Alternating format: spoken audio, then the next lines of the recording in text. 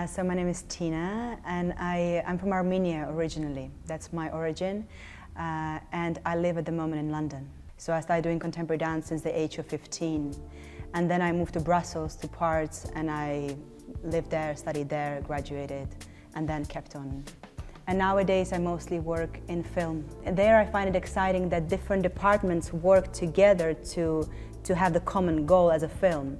And that's really exciting for me, is to be the head of movement, like a movement director, and then collaborate with a costume department and collaborate with a special effects department and the scenography department and, and lights department. And the fact that they collaborate all together and we're all working for the common goal, that's what would make me every single time say yes. I'm part of Ferris Anime Terra Nova Collective and that's something that is ongoing practice and from that I developed Acts of Action, which is my practice. But I, but when it comes to professional work, I haven't had so many prolonged uh, collaborations.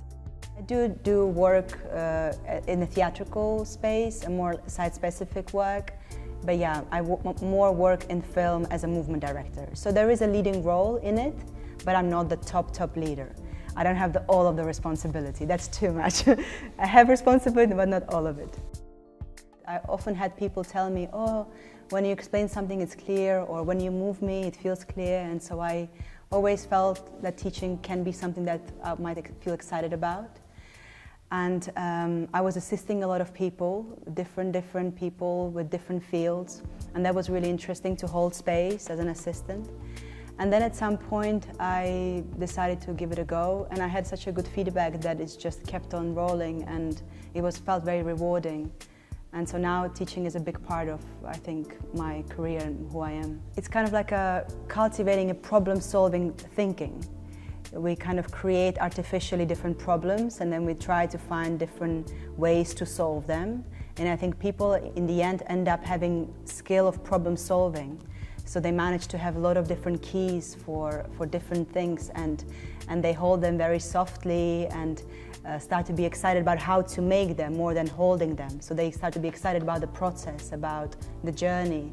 It's, it's, the difference is in the mindset, in the in experience, in how people approach movement, in how they relate to other people's bodies. It changes a lot in how they hold themselves. And I, I always hope that people in the studio are as, that there's as much variety and diversity as possible because then they can feed each other.